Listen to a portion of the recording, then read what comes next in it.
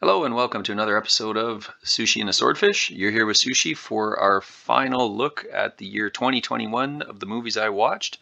This is our December list and we're going to be finally able to wrap up everything here. And so we're going to jump right in and have a little bit of fun. All right, we're starting with Two Guns. This is a Denzel Washington, Mark Wahlberg. I must have been on a Denzel Washington kick because I know there was a couple of Denzel Washington movies here and there over the past few months that we looked at. I'm throwing right into OK USA. It's a fun, just kind of over the top movie. Um, kind of complete opposite of Safe House. Safe House was far more serious and try to kind of be a bit more grounded. And this does have a level of being grounded as well, but it's just a bit more, um, just a bit more goofy, especially in the dialogue and so forth. But if you're looking for something that's just kind of a fun action movie, maybe a bit of a throwback to sort of those over the top um, 80s style, early 90s style films, uh, you probably enjoy this.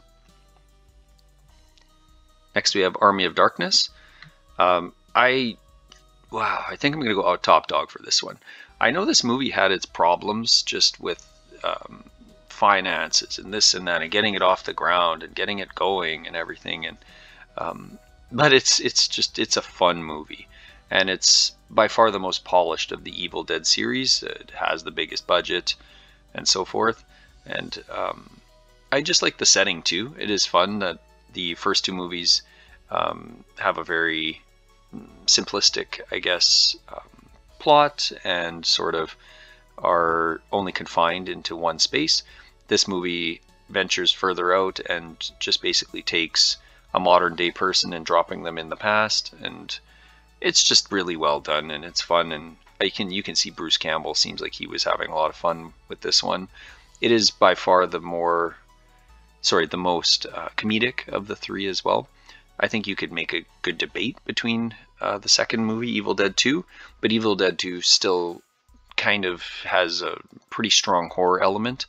Not as strong as the first movie. Like the first movie is very much just basically a straight horror movie, and the second movie kind of almost goes between like I don't know, maybe 60, 70% horror-ish, and then a, a, good chunk of it is um, uh, more of a comedy, like plates being smashed on the face and things like that, and cutting off the, the hand and so forth. There's just a lot of like humorous, it's dark humor, but it's humorous. But this one definitely has a dark humor edge to it, but has probably some of the most quotable lines out of the franchise too. Uh, really, really fun movie. All right, we have Coming to America. Um, I know this is a pretty well-regarded movie, but I'm just putting an OK USA. There's some some fun parts for sure, and some pretty funny lines, um, and just some some of those sort of fish out of water type um, elements to the movie. I found that uh, Arsenio Hall is a really good sort of sidekick to Eddie Murphy's character, and he's constantly questioning him.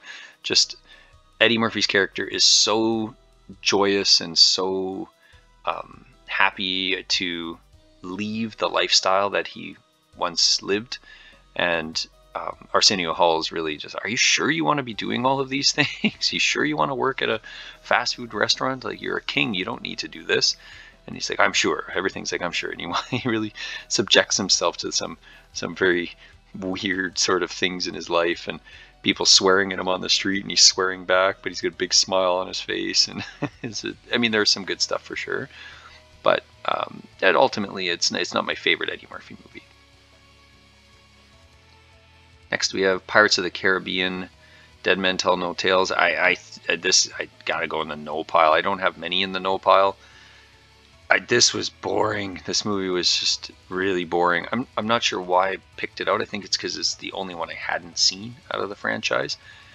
Uh, I think this franchise has probably run its course. If they do reboot it, I imagine they're going to have to do something really unique to really spice it up and bring it back.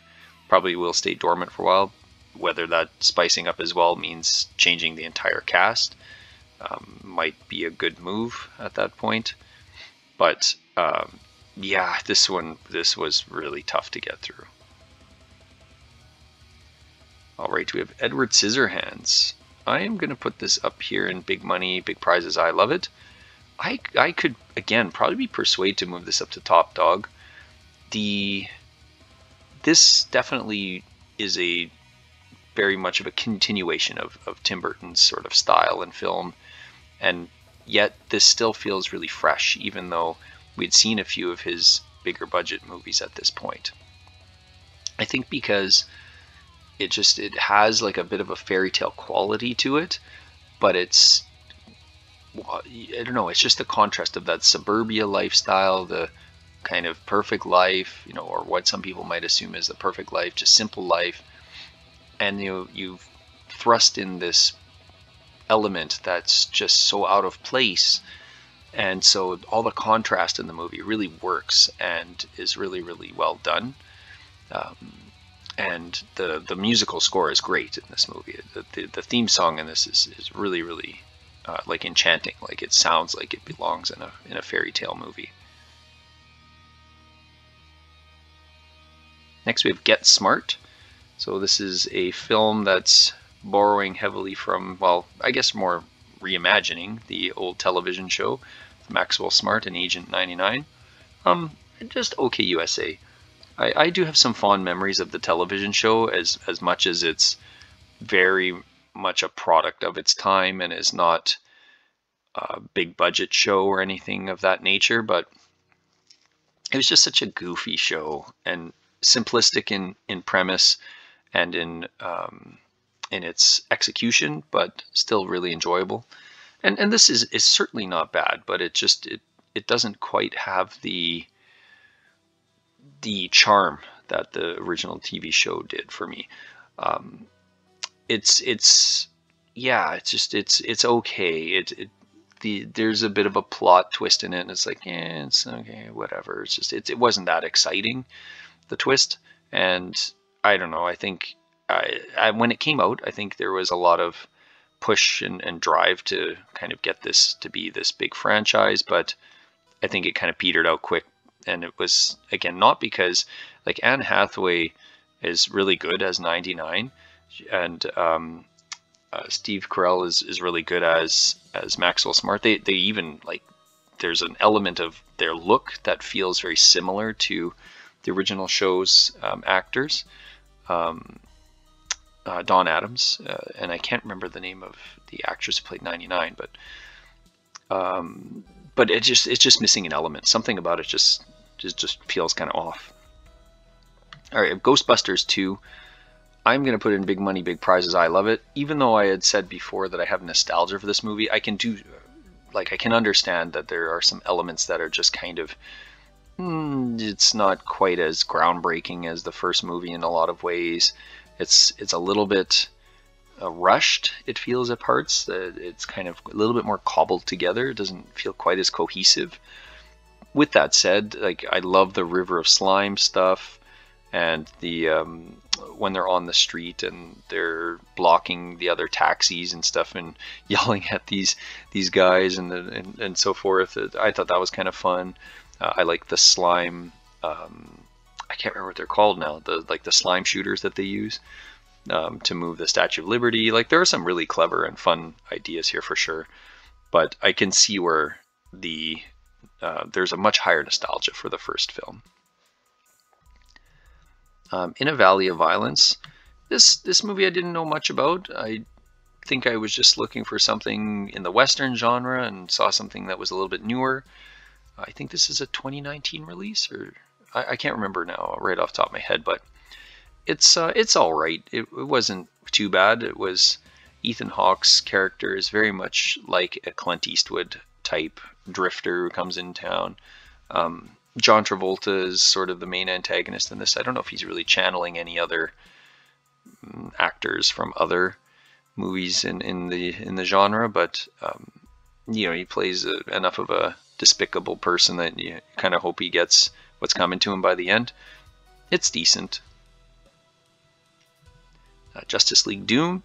I'm gonna put this one up here. Big money, big prize. I love it. This is a this was a pretty fun movie. Um, Batman is very much the focus of it, and it's kind of interesting because the Justice League are well, I don't want to say too much, I guess. I don't want to say too much. But the Justice League are definitely in this movie, but it's Batman's planning and actions that cause a lot of grief, we'll say.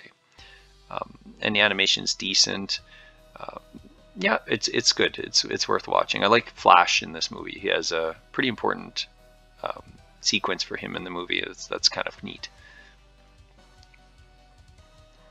All right, uh, Live, Die, and Repeat, um, which is also, I believe, called originally Edge of Tomorrow.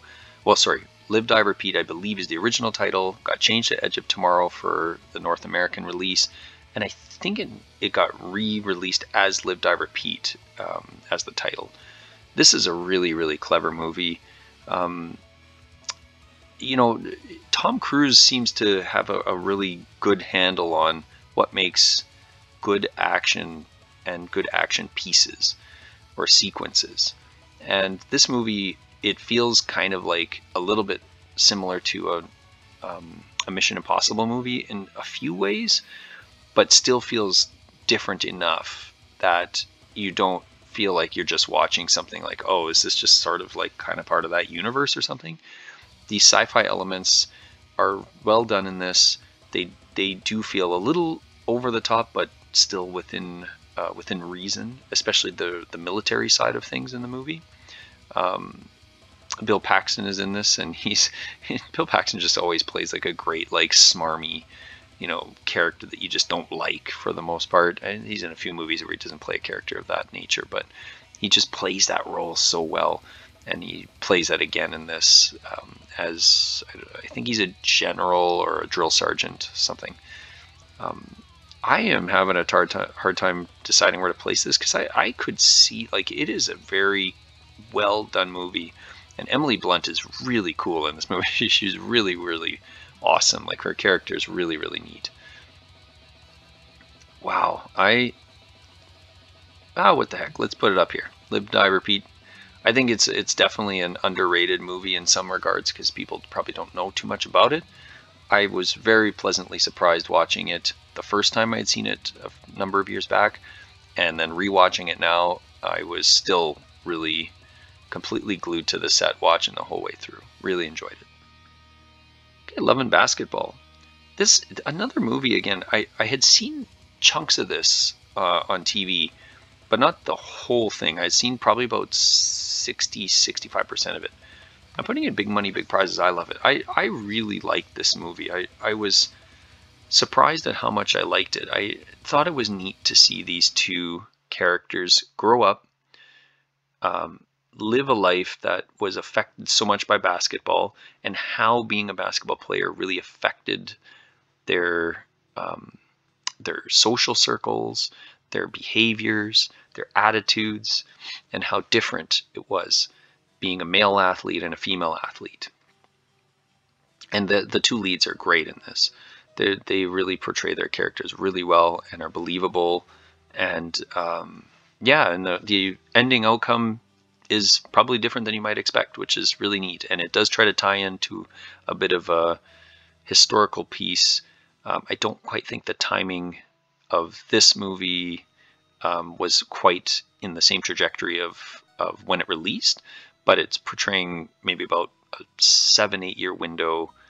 Um, I think seven, eight year year window of reality. Uh, so it's like this movie came out like seven or eight years after what the years it was trying to portray, if that makes any sense, which it probably doesn't. But anyways, it's a good movie. All right, Porco Rosso.